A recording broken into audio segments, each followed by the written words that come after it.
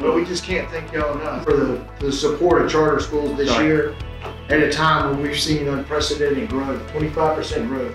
It's critically important. This restored some of the money that uh, the charter schools were short uh, when so many of our children left the traditional public schools during the pandemic and entered the public charter school system. The funding on that system lags a year behind. Essentially, there was a there was a about a 20 million dollar shortfall So the gap funding of $9 million is going to help fill the gap hole that was created as a result of the continuing resolution and the increase in charter school enrollment.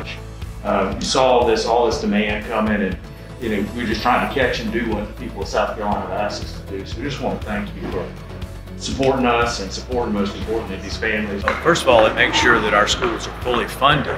They saw a uh, unprecedented wave of students trying to get into local charter schools as a result of COVID, as a result of the fact that our local charter schools, under our two authorization umbrellas, opened up and five-day face-to-face instruction, heeding the call of the legislature, governor, and most importantly, parents and families uh, around the state. So ensuring that these schools are able to operate will ensure that there's continuity into the next year. And I think what we're going to see is not a temporary wave of interest in charter schools from COVID, but a permanent wave that's going to continue. I believe it um, shows the, the value of choice. That option that families had during a tough time was an important option to have. It strengthens the argument for the option of charter schools, and uh, I think strengthens the argument for, for appropriate funding for charter schools. I, I think the MOU agreement between the Charter Institute of Erskine and the South Carolina Public Charter School District has been the, the difference maker.